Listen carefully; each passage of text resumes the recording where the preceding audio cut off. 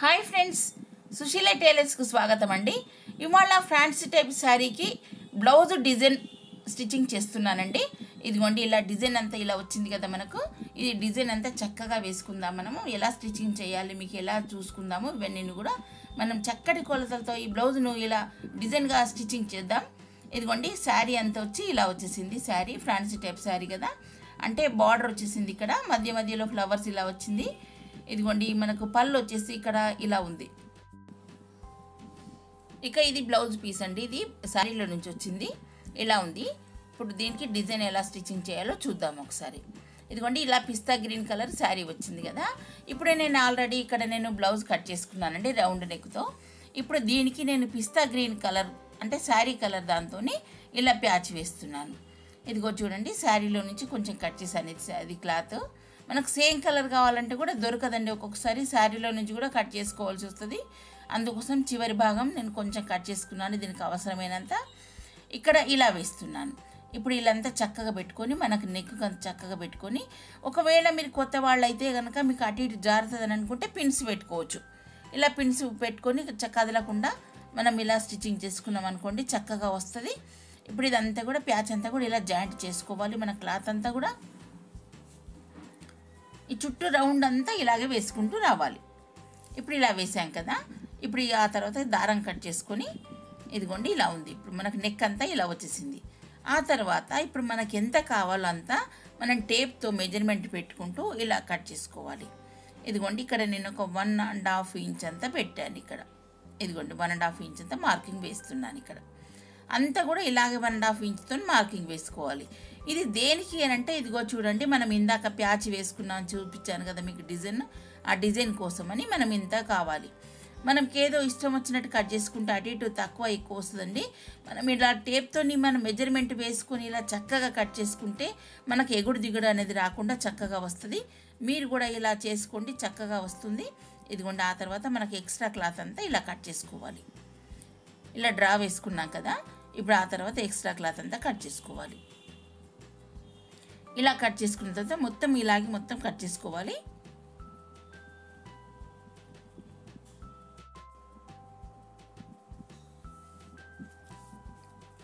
ఇదంతా ఇలా కట్ చేసాం కదా.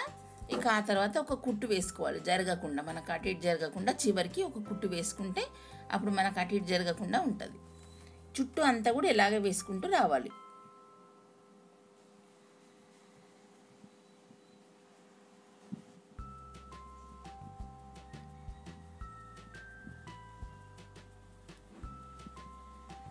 ఇప్పుడు ఇలా వేసుకున్నాం కదా ఆ తర్వాత ఇప్పుడు నెక్ మధ్యలో ఉంది కదా ఈ క్లాత్ అనేది ఇప్పుడు మధ్యలో క్లాత్ అంతా కట్ చేసుకోవాలి. ఇలా అప్పుడు అనుకున్నప్పుడు మనకు ఏంటంటే ఇప్పుడు ఈ రౌండ్ నెక్ అనేది చక్కగా వస్తుంది. ఇదిగోండి ఈ నాట్స్ మనకు షాప్లో దొరుకుతుంది.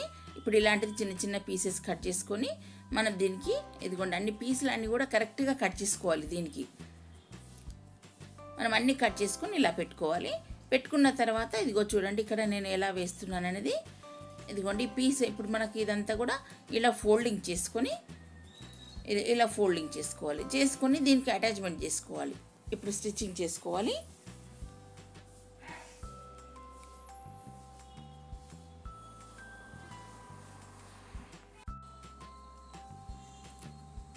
ఇవన్నీ కూడా ఇలాగ జాయింట్ చేసుకుంటూ రావాలి.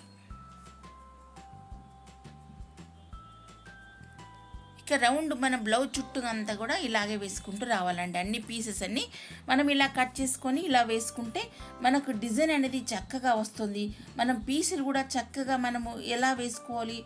ఇప్పుడు మనకు ఇప్పుడు స్టిచ్చింగ్ చేసేటప్పుడు మనం ఇలా కరెక్ట్గా ఉందా లేదా అని చూసుకుంటూ వేసుకోవాలి. ఇదిగోండి బ్లౌజ్ అంతా కూడా ఇలాగే వేసుకుంటూ రావాలి చుట్టూ అంతాను.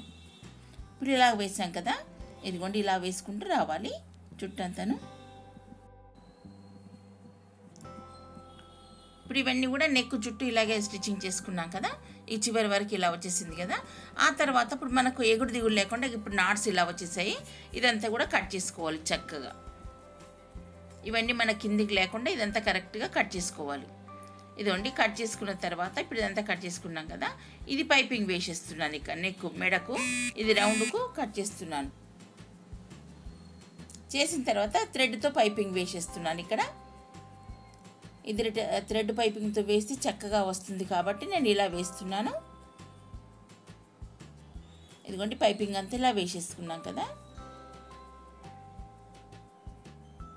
చివరి వరకు ఇలాగే వేసుకుంటూ రావాలి.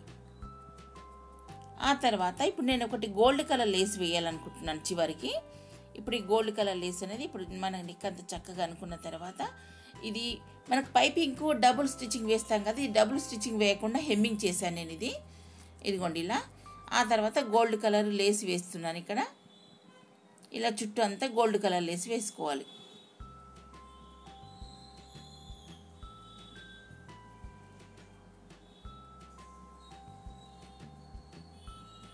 ఇంకా ఏ డిజైన్ కావాలంటే ఆ డిజైన్ వేరు వేరు డిజైన్లు కూడా వేసుకోవచ్చు మనకు.